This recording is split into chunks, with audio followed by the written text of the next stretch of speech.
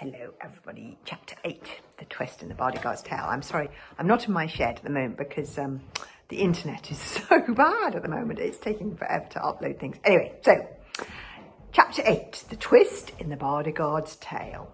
No, whispered Hiccup, it's not true. Yes, replied Hickangus, I'm afraid it is, and the story gets worse. Can it get worse? now I was going to ask the same question as Hiccup. Uh, how can it get worse? asked Hiccup through white lips. Your father did manage to steal the stone. He found it inside the volcano, which is why the Lava-Louts had never discovered it before, despite digging holes all over the island. But what Al told me was that the Firestone released certain chemicals that kept the volcano dormant. Without those chemicals, over the last 15 years, the volcano has become more and more active until finally, right now, it's ready to blow. Mm, Hiccup said, lost in thought. While they were talking, the blackness at the window had turned to grey and then turquoise, and the sun was coming up fast on what would be another roasting day. This terrific Al of yours, asked Hiccup, what is he doing now? but it's got a bit banana since you mention it, a bit Hickangus. But then the poor chap has had a difficult time of it. Mungus returned to his tale. Shortly after, Terrific Owl returned as a prison guard, and as the rumbles from the volcano were going louder and louder, the exterminators did start to hatch. The Lava-Louts abandoned the island and left us prisoners to fend from for ourselves, and we too made a bolt for it, all except for Terrific Owl. He's got this wild idea and he said that he's going to train these creatures. He's brought these gigantic statues all over the island and he seems to think that when the exterminators hatch, they will think that he is their leader and will do everything he says. What's he going to do with the um, exterminators once he's trained them? asked Hiccup. Good works, he says, replied Hiccup. No, shaking his head in admiration. He thinks he's going to stop them from killing everything in sight. Oh, he's a lovely, lovely guy, that terrific owl. Even if he is as mad as a loon. Well, I tried to persuade him to leave with me, but he wouldn't, and that was when he asked me to do the favour I promised him all those many years ago. This is the exterminator, and you can see they're just not very nice. I don't even have to have met one to know that it's not very nice. Their rogue speeches of dragon are exceptionally da dangerous. A pack of exterminators lays waste to an entire landscape by setting far for it. They have large sword-like talons and two hearts. They kill for the pleasure of it.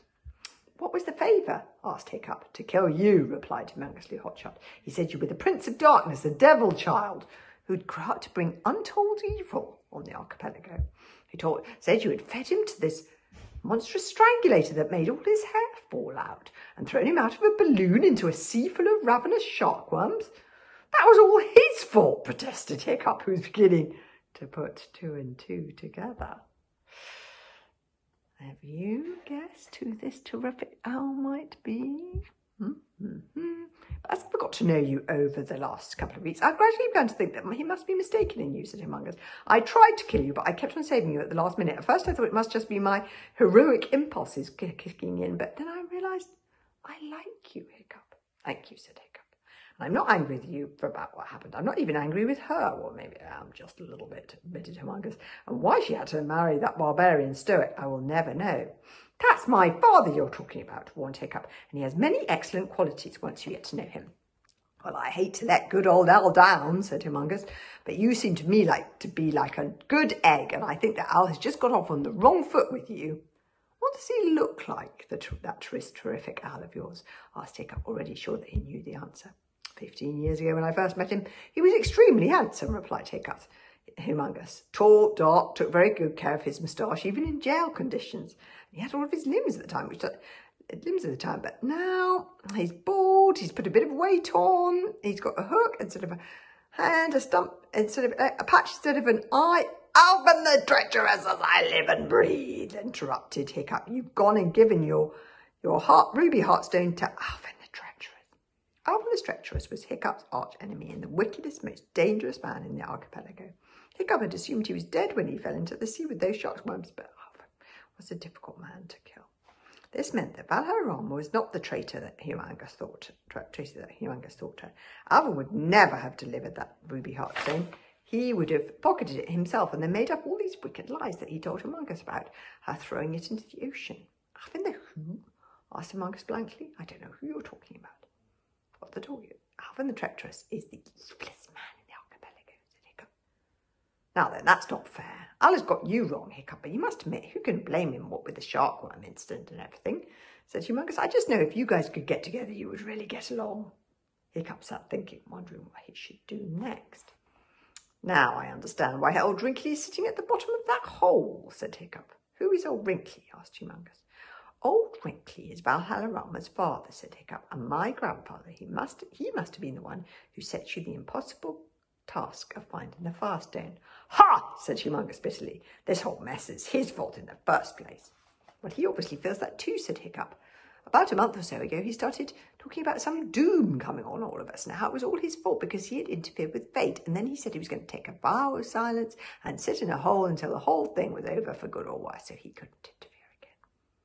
None of us took a lot of notice at the time, said Hiccup, because old Wrinkly can be a little eccentric, but suddenly it's all crystal clear.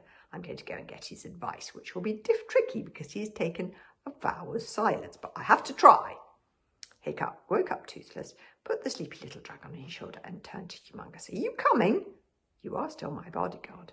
Humongous blushed. Are you sure, sure you still want me to be your bodyguard? But of course, said Hiccup. I think you are an excellent bodyguard. Even when you were trying to kill me, you did a wonderful job of saving me from yourself. Will you shake hands? Humongously Hotshot's sad face lightened. He smiled. They shook hands. And then, oh, that's that exterminated Time is ticking my way, the volcano is shaking me daily. One day it shall shake me right out of my shell, and I shall blaze forth with scorching red talons, and then flames shall lap like water down the mountainsides. The trees will be crackling candles, stroking the sky with fiery fingers, and I shall turn all the flowers and small things into cinders and beautiful